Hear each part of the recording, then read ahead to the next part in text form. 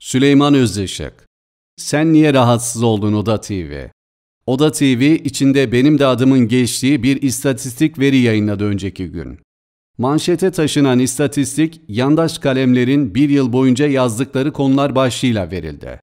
Detayında ise şu satırlar yazılı. Hükümete yakın gazetelerin kimi köşe yazarlarının yazılarını tek tek inceledik. 2020 yılı içerisinde kaç yazı yazmışlar ve bunların ne kadarında CHP, Kılıçdaroğlu ve İmamoğlu'dan söz etmişler diye baktık. Ortaya çıkan sonuç şaşkınlık verici oldu. Benim ismimin geçtiği satırda şu detaylar var. Türkiye Gazetesi yazarı Süleyman Özışık da 2020 yılında 121 köşe yazısı kaleme aldı.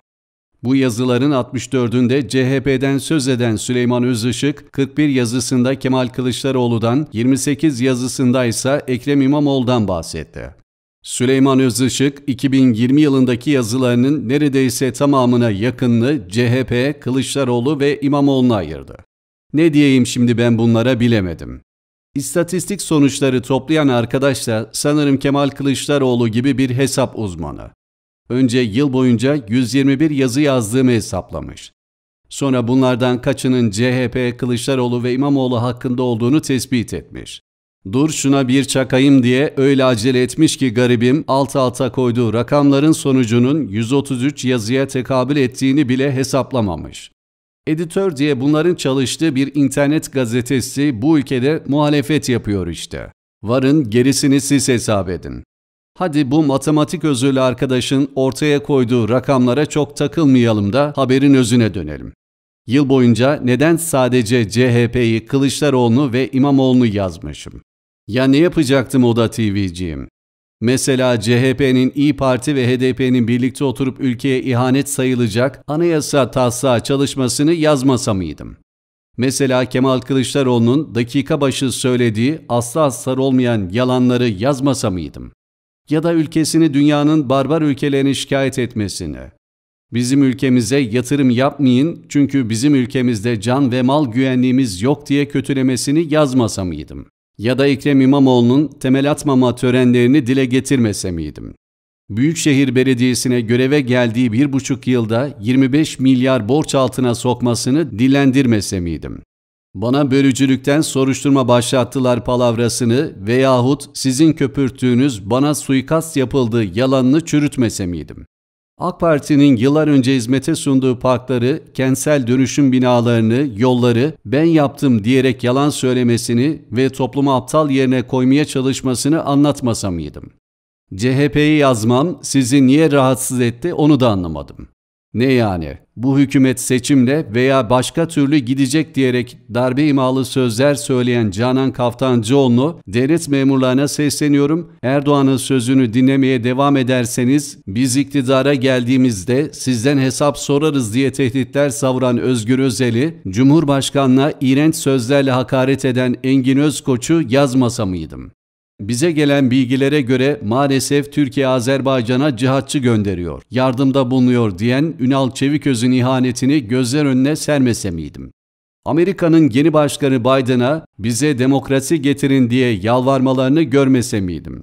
Ya da iki başkan yardımcısıyla birlikte kendisinden iş istemeye gelen kadına topluca tecavüz eden Didim Belediye Başkanı Ahmet Deniz Atabay'ı görmezden mi gelseydim? Ne yapaydım yani? CHP içinde yaşanan ve Barış Arkadaş'ın açıkladığı tecavüz ve taciz olaylarına değinmese miydim? Canan Kaftancıoğlu'nun tecavüzlere sahip çıkıp mağdureleri mahkemeye vermesini anlatmasa mıydım? E vallahi bunca pisliğe bakılırsa az bile yazmışım. Galiba bundan sonra daha fazla yazmam gerekecek. Hem nedir senin karın ağrın Oda TV'ciyim? CHP'de yaşanan pislikleri, tacizleri ve tecavüzleri, yalanları ve ihanetleri yazmamız mı seni rahatsız etti? Madem benim kaç yazı yazdığımın istatistiğini tuttun. Bir de kendi istatistiğini açıklasana Allah aşkına. Mesela sen bu iğrençlikler hakkında kaç haber yaptın? Bu kepazeliklerin kaç tanesini millete duyurdun? Veya senin yazarların Erdoğan ve ailesi hakkında hakarete ve iftiraya dayalı kaç yazı yazdı onu da açıklasana.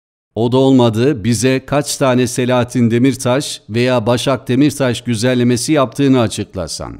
Olur mu Oda TV'ciğim? Süleyman Özışık Şebnem Bursalı Gerçek balçıkla sıvanmaz.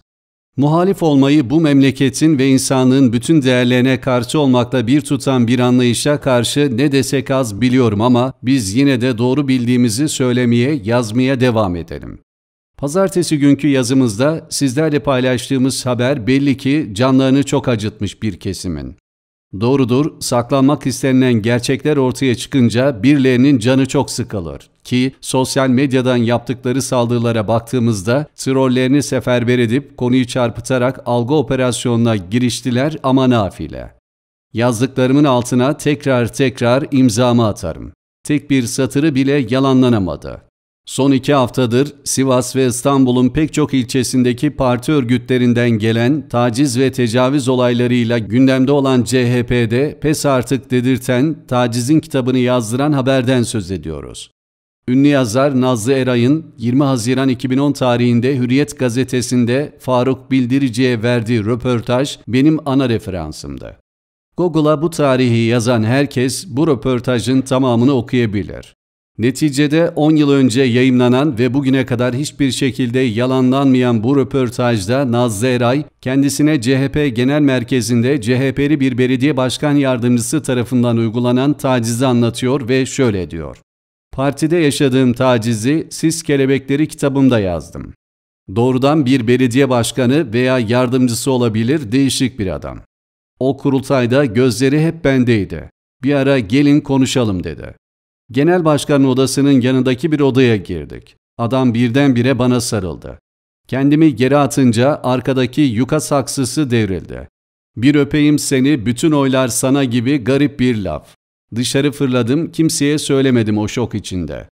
10 yıl önce röportajı yapan Faruk Bildirici'yi telefonla aradım. Yaptığı bütün röportajlarda ses kaydı olduğunu ve söz konusu röportaja yayınladığı günden bu yana 10 yıldır hiçbir yalanlama ve itiraz gelmediğini hatırlattı.